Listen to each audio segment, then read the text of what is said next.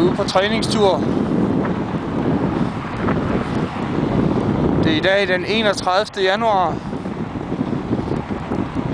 Og i går var der til et isbjørnefod på basen.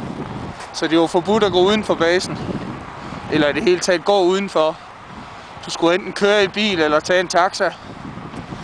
Så de har først lige frigivet alt udvendig færdsel her til morgen.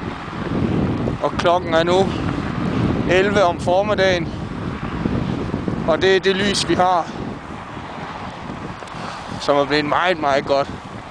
Nu kan vi se igen.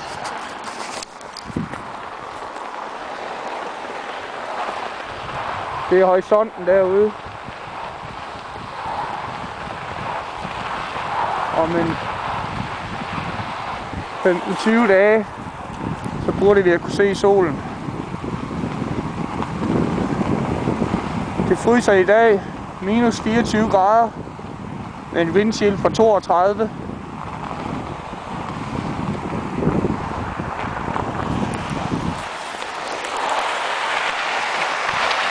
Og vi har klædt på.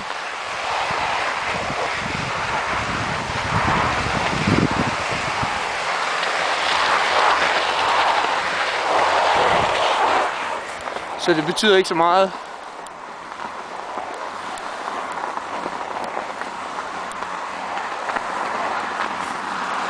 Dernede har vi basen. Vi lige er lysene dernede. Og jeg har kørt det, der hedder off-base nu.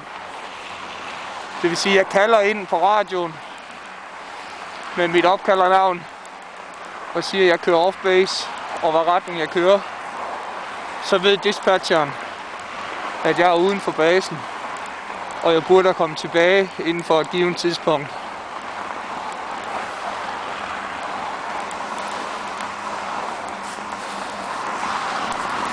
刘大发。